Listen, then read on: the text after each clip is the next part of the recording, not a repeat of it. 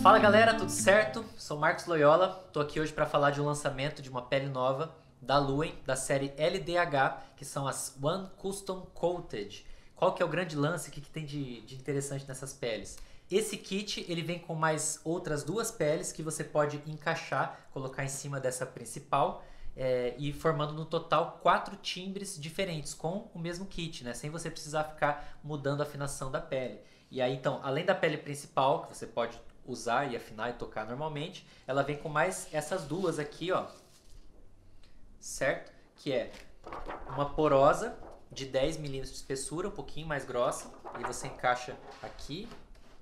Facilmente você pode colocar, você já tem um outro timbre, ou você pode escolher essa outra pele, que é uma é, um filme simples também com um dot central no meio, né, um abafador de 7.5 também, um pouquinho mais fina. E aí você pode escolher tocar ou com cada uma delas ou encaixar, né, as três, uma em cima da outra, e você tem mais um outro timbre de caixa aqui, ó certo? Além disso, a gente tem várias opções de cores, todas elas nesse acabamento Sparkle, né, que é brilhoso, você pode ver aqui de perto. E a gente tem elas nas cores preta, branca, azul, vermelha, dourado e cobre. Make all the demons quiet, yeah, we were built to thrive, yeah.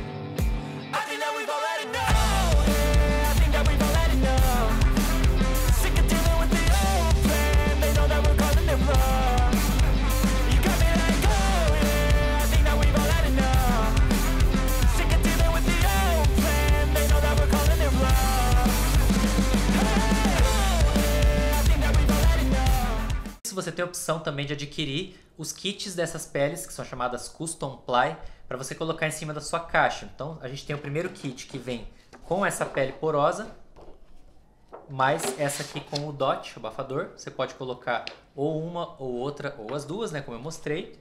E a gente tem o chamado Custom Ply Effect, que vem com essa pele com as platinelas aqui, né? Isso aqui é muito legal, eu particularmente gosto muito de usar esse tipo de efeito, né, em cima da caixa. Você pode colocar em cima do surdo também, é bem comum, né? E além dessa pele com as platinelas, esse kit vem com mais uma porosa também, ok? Então você pode colocar ou só essa ou as duas, se você quiser um som mais abafado, mais grave, ok? Bom, é isso. Eu vou mostrar agora um pouco do som dessas peles para vocês e dessas combinações, né? Como que a gente pode mudar o timbre facilmente sem mexer na afinação da caixa. Então, confere aí.